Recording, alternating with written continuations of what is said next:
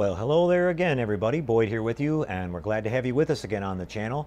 I've been working on this little side project here. Uh, we finished building our Duel truck a couple of weeks ago, and after I finished up that model, a couple guys asked if we were going to build the uh, car that we saw in the movie to go with it that the uh, Dennis Weaver character drove in the film, the little 71 Plymouth Valiant four-door sedan. And uh, at first when I thought about the idea, I didn't really uh, think we are going to be able to pull anything off because there wasn't a uh, existing kit of the model that's ever been made as far as I could tell. I did some looking around and stuff and couldn't find anything. Uh, really any, it's pretty hard to find any kind of four-door model car kits. But uh, I looked around a little bit more on the internet and I found a nice little thread uh, by a couple of uh, great modelers out there who shared their, uh, uh, their work and they were SS Impala 427 and Mike the Mechanic and they were talking about how you can do a kit bash using the two kits that you see here in the picture, this 68 Dodge Dart and the 71 Duster 340. They're both uh, 125th scale and uh, made by two different companies, but nonetheless the parts uh, actually wind up mating up pretty good. What we wind up, what we had to do there is we had to use the uh, the front end that's everything from the windshield forward of the 71 Duster to get the front end of the Valiant, and then the back half of the car had to be the uh, 68 Dodge Dart. Now you're probably wondering how the heck do you get a four-door sedan out of a two-door hardtop uh, that we have with the Dart body? Well, when we looked at the side profile of this, and as those guys pointed out on their thread, there's just enough plastic there to uh, be able to file and sand away a little bit of the uh, edges around here on the original top and uh, reshape this sail panel here at the rear and simulate the look of a four-door sedan or four-door hardtop if they made such a thing. I'm not sure, but I think they were all sedans. But uh, so then after we had that opened up, uh, we had to reshape the back window just a little bit, and we had to add that center post, which I just added with a little bit of, um, uh, made that with some sheet styrene. Same thing with the small little uh, secondary posts there on the uh, on the door window. And uh, once we got all that put in, it came out pretty good. here at the rear, um, the back window of the Dart originally kind of you know stretched down a lot farther and it had sort of a curve to it, so I had to uh, you know, shape that more square, and then I had to uh, uh, put a little bit of styrene filler panel in there and just kind of blend that all in and make it so it's straight across.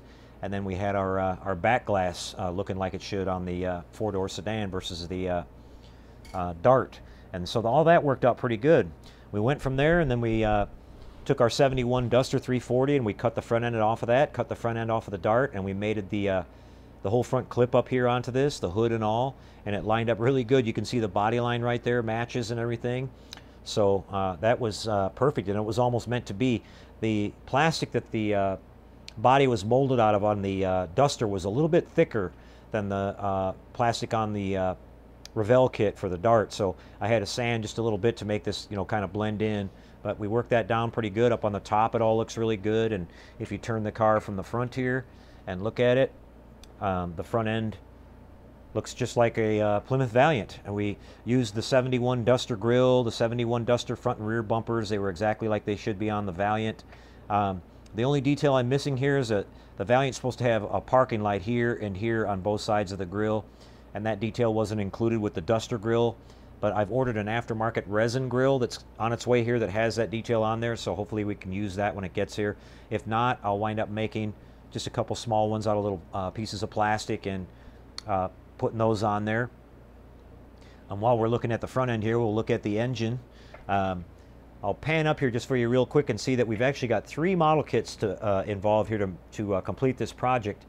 Uh, we, we remember Dennis Weaver's character in the film saying that the car was underpowered and that he couldn't get away from the truck. Well, I guess they were insinuating that it had the Slant 6 engine in it. Uh, so uh, a good friend of ours, uh, Calvin Sweet, who watches our Model Shop Guys show, sent us that complete Dodge 330 kit, and it came with that really nice little um, slant six engine and all the drivetrain that goes with it. And we can see here that um, it fits in there really nice, everything lined up really good, and I'm really impressed for that being a Lindberg kit. Lindberg is not known for being, you know, overly detailed or all that, but uh, this little Slant 6 is a beautiful little uh, engine kit. I mean, all the little details are there, even the fuel pump, the oil pump, um, everything. I mean, so it's and it fit in there. Uh, even the uh, motor mounts that came with the little motor, uh, the engine, lined right up with the uh, motor mounts on the uh, K frame on the bottom of the uh, of the Duster chassis. We wound up using the 71 Duster chassis on the bottom of this um, to uh, make that work, and it all fit in there like it was meant to be. And we've got all the little extra engine compartment details in there out of the Duster kit, you know, like the water, washer bottle and the horn and the battery, the radiator core support, the radiator and all that. So that worked out great, almost like it was meant to be. Now on the bottom of the car here, um, we also use the uh, exhaust system from the 64 Dodge because it was set up with a single exhaust, uh, you know, for our slant six engine. And I was able to just kind of reshape this pipe here just a little bit, bending it here and there in the muffler and getting that all to fit in there. And it laid down great. You see it from the side profile here, it's not um, hanging down or anything. So it looks really good up underneath of the car like it was meant to be. And we've got our single tailpipe coming out there at the rear. Um, everything on the chassis is from the 71 Duster. It all lined up really, really good. You can see um, I've still got to put my, little, I've got to glue my little transmission cross member brace on there. I forgot to do that, but that'll be the last part I put on this model. But it all lined up really, really good. And um, even down here at the frame and everything where it uh, meets up with the uh, the inner wheel wells, you know, uh, inside the engine compartment lined up perfect. So you couldn't ask for anything better than that. Um, I'll point out that the subframe here that's uh, attaches to the uh, main floor pan, that's a separate piece on the 71 Duster kit. So when I first test fitted it on here, I noticed that the wheelbase was going to be too short. It was just barely a little bit too short where the wheels weren't going to line up with the wheel wells on our body. So I just extended it forward just maybe about a 16th of an inch and glued it there. And then you can see we've got our nice, uh, the wheelbase matches up real good and everything here on the sides. Um, so it all came out really great. I'm really happy with it. Um, it's not perfect, you know, we, we had to uh, kind of make some parts here and there. Uh, what I'll talk about here is uh, these hubcaps uh, were not available anywhere. That the Valiant in the movie had some kind of really low grade, you know, dog dish looking hubcaps, and um, they were kind of a point in the middle, and then they kind of taper off, and they had these fake, uh, you know, like eight or nine lug nut holes around the edges of it. And I looked all over the place and couldn't find any hubcaps that were even close to that. When I started looking at the Dart, I realized that the hubcaps that it came with were similar to what I wanted to have in the middle. They had that raised area in the middle, but these are like, you know, hubcaps to simulate mags, and they have these slots in there. So I got the idea to take some putty and fill those in, and then I tried to hand sand those and get those in shape, but it just didn't work out very well. So not giving up on the idea, I what I wound up doing is I took um, and refilled the putty back in there, and then I found an old metal axle and a, and a hub and a, a tire that that fit these um, uh, hubcaps, and I put it all together, and then I chucked it all up in my Dremel tool, and I just spun it like a lathe, and just held some sandpaper onto the cap as it was spinning, and sanded down those, uh, you know, the putty that I had in there, and basically uh, created the shape that I was looking for. And once I was all done with that, I um, just uh, primered them, and then I uh, coated them with some um, Alclad aluminum. And because they weren't really like bright chrome in the movie, they were sort of a polished aluminum look, so uh, I went with that. And it turned out pretty good and pretty close to what I was looking for. Now here at the back, uh, the car had a, uh, you know, a, sort of a brushed aluminum looking panel that went across the trunk like that. So I created that out of some sheet styrene, just, you know, cut out a piece, sanded it down and, and uh, painted that with some aluminum. And the taillights here, what I did is I used some, uh, I have some uh, bare metal foil and I basically cut out the shapes of those and then stuck that down on there. Then I took some Tamiya transparent red and I just dabbed it in there to simulate the taillights themselves.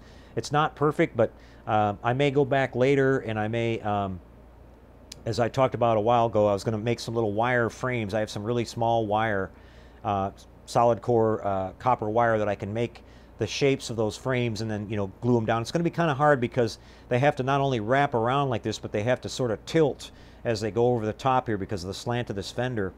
Uh, and um, you know it, it, might be kind of difficult, but uh, when I have a little bit more time later on, I might uh, go back and, and, work on that. But just for the general appearance of the car, I really think these look good anyway. They You get back a foot or two and they have that reflection like, you know, transparent red there and the, you know, the chrome trim around there. They, they definitely give the illusion like uh, the shape of the taillight like the, that the car had on it. And you can see we've got our uh, license plates on there, the ones that are supposed to be on there. Those were extras from the set that uh, Jerry made for me for the Duel truck itself. He actually made the uh, license plates for the car for me too, and that's kind of what inspired me to go ahead and do it. I thought, well, if I've got the plates, I should build the car too. But uh, So you can see from all angles here, guys, it doesn't look too bad at all. Like I said, definitely not perfect. Um, you know, it's got, uh, I had to reshape some of the trim and stuff here and there, and I did the best job I could painting on the trim and everything. Uh, trying to do it with bare metal foil would have been really hard to do because there weren't any, like, there, there aren't any solid lines or edges that you could follow along with your knife. You're going to be wobbling all over the place trying to cut it, and uh, I just did the best I could with that, and I'm pretty happy with it. And the car didn't have, like, really bright chrome on it anyway. It was more of a, uh, a brushed down aluminum or stainless uh, kind of look to it. So overall, like I said, I'm really happy with it. And when I set it in there on the display uh, along with the truck, it looks really, really good. And I'm really happy I uh, um, decided to go ahead and do this. And thanks again to those guys out there that uh, put the thread out. And thank you for those that sent us some pictures for references. And uh, Calvin, thanks for sending us the uh, the complete model kit. We wound up, you know, putting that to really good use. Um, uh, before I go here at the end, there'll be a couple of uh, pictures of the I'll put up a couple of pictures of the interior work that I did um, and basically explain it real quick here. I used the uh, 68 Dart interior tub because it had the, the detail on the side panels uh, looked like I wanted it to and the dashboard was exact to the Plymouth Valiant. Um, the interior tub for that car was set up as a four-speed so it had a little hump in there where the four-speed shifter mounted uh, on the transmission tunnel. So I shaved that down and just filled it in with some styrene and putty before I put the carpet flocking over it. And then I had to create a front seat because the front seat on this vehicle was a bench seat.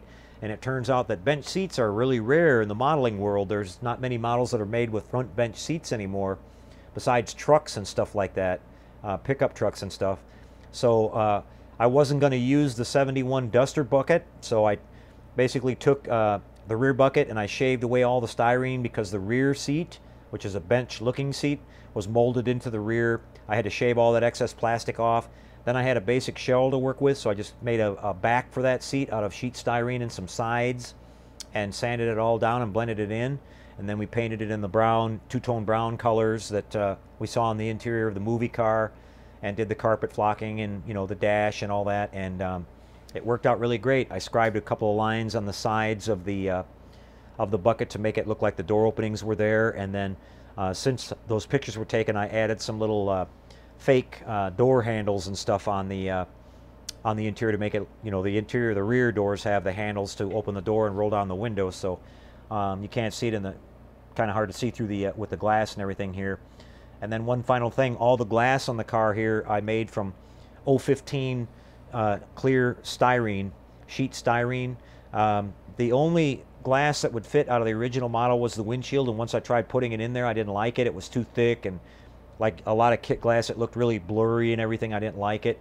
So I wound up making all the glass out of styrene. I cut it out and then just um, glued it all in. And we made the side windows there, the back window had to have a little bit of a curve. I like that stuff because it curves and it'll follow shapes and everything.